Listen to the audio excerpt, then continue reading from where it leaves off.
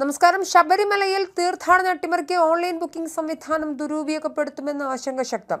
ആർക്കും ഓൺലൈനിൽ സമയം ബുക്ക് ചെയ്യാം. ശബരിമലയിൽ വരണമെന്ന് ആഗ്രഹമില്ലാത്തവർക്ക് പോലും ഇത് ചെയ്യാനാകും. ഇങ്ങനെ കൂട്ടത്തോടെ തീർത്ഥാടനം അട്ടിമറിക്കണമെന്ന് ആഗ്രഹിക്കുന്നവർ എല്ലാം കൂടി നേരത്തെ വെർച്വൽ ക്യൂ ബുക്ക് ചെയ്താൽ തീർത്ഥാടനത്തിന് ആളില്ലാത്ത അവസ്ഥയാകുമെന്ന ആശങ്ക.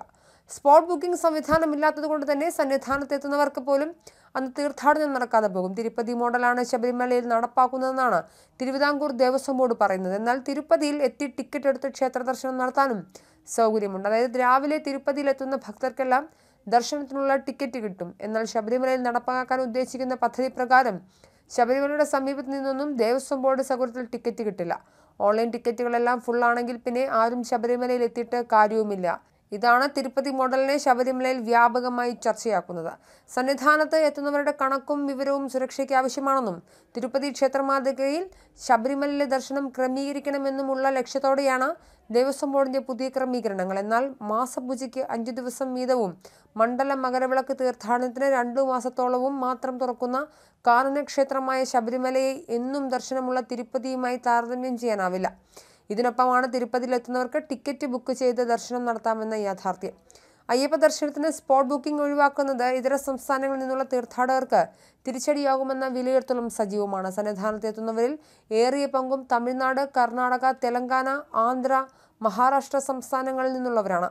കൂടുതൽ സാധാരണക്കാരും കൂലിപ്പണിയെടുക്കുന്ന ഇവർ ദർശനത്തിന് വെർച്വൽ ക്യൂ നിർബന്ധിതമാണെന്നറിയാതെയോ സാങ്കേതിക തടസ്സങ്ങളാൽ ബുക്ക് ചെയ്യാൻ കഴിയാതെയോ എത്തിയാൽ ദർശനം നടത്താൻ കഴിയാതെ പോകും. ഇവർക്ക് അനുഗ്രഹമായിരുന്ന സ്പോട്ട് ബുക്കിംഗ് സൗകര്യമാണ് സർക്കാർ വേണ്ടെന്ന് വെച്ചത്. കുമളി എരുമേലി മുണ്ടക്കയം ആലുവ ഏറ്റുമാനൂർ ചെങ്ങന്നൂർ പന്തളം നിലയ്ക്കൽ പമ്പ കൊട്ടാരക്കര എന്നിവിടങ്ങളിൽ മുൻവർഷങ്ങളിൽ സ്പോട്ട് ബുക്കിംഗ് കേന്ദ്രങ്ങൾ ഉണ്ടായിരുന്നു. നിലയ്ക്കലിൽ പത്തും പമ്പയിൽ അഞ്ചും കൗണ്ടറുകളാണ് ഉണ്ടായിരുന്നത്. ഇതെല്ലാം ഒറ്റടിക്ക് നിലവിൽ വേണ്ടെന്ന് വെച്ചു. ഇത് ബുക്ക് ചെയ്യണമെന്നറിയാതെ എത്തുന്നവരെ ബുദ്ധിമുട്ടിലാക്കും. തിരുപ്പതി മോഡൽ എന്ന വ്യാജേന എല്ലാം അട്ടിമറിക്കുകയാണ് കേരളത്തിൽ സർക്കാർ എന്നാണ് ആക്ഷേപം നിലനിൽക്കുന്നത്. ഈ തിരുപ്പതി മോഡലിലെ കള്ളം ചർച്ചയാക്കാൻ ഹിന്ദു സംഘടനകൾക്ക് പോലും കഴിയുന്നില്ല എന്നും ആക്ഷേപമുയരുന്നുണ്ട്.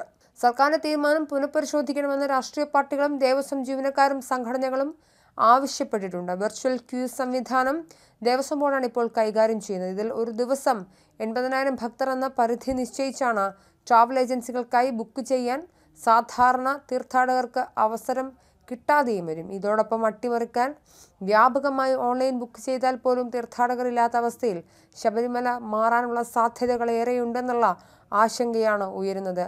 ഇതിൽ സർക്കാർ ഉടനടി ഇടപെടൽ നടത്തുമെന്നുള്ള പ്രതീക്ഷയിലാണ് ഭക്തജനങ്ങളും സംഘടനകളും.